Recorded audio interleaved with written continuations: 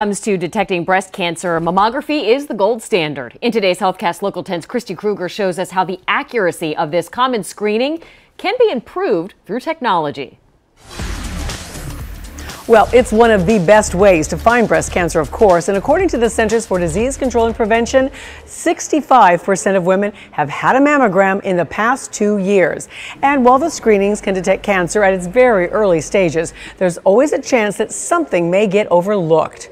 And that's where Anna Betsy Rivero hopes to make a huge difference. While earning her master's degree in computer science right here at Nova Southeastern University, Rivero created a software program to improve the accuracy of breast cancer diagnosis.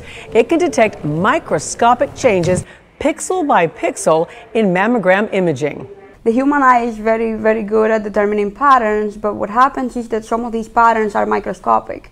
It's very difficult for the human eye to detect differences at the pixel level.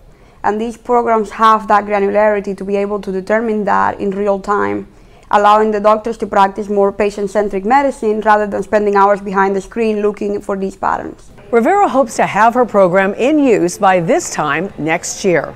Also in today's health news, more data linking the benefits of exercise in preventing dementia, especially for women. Researchers studied women who had low, medium, and high levels of fitness and found that those who exercised the most had later onset of dementia by as much as nine years compared to other groups.